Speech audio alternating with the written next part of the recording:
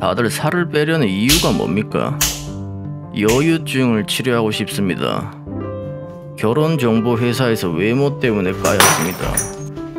누나 결혼식 가려는데 정장이 안 맞습니다. 나이도 있고 체중 때문에 디스크로 고생 중입니다.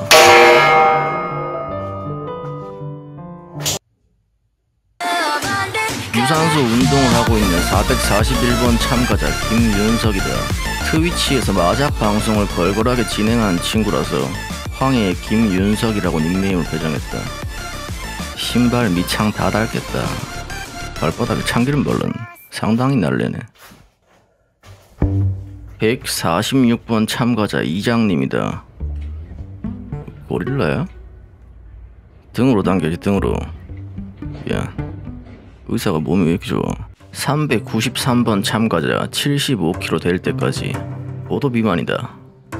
이 친구와 같이 식사를 할 때면 어김없이 고열량 음식과 술을 섭취했다.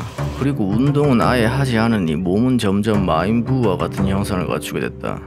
내 몸도 문제지만 그 에너지 넘치던 놈이 점점 무기력해지고 우울에 빠지기 시작하더라. 그리고 여유증이 심해지다 보니 검은색 옷만 입고 외출해서는 항상 어깨를 움츠리고 다니더라. 얘랑 지난주부터 같이 운동을 시작했고 5일 만에 4kg를 감량했다. 엄청난 감량 속도와 더불어 오랜만에 이 친구의 눈빛이 다시 빛나기 시작하더라. 여자친구 문제, 우울증, 무기력증, 여유증, 건강, 운동 퍼포먼스 향상 여러 살 빼고 싶은 이유들이 있더라. 나도 이번엔 장난 안 치고 끝까지 갈 테니 같이 한번 해봅시다. 냄새 좋지?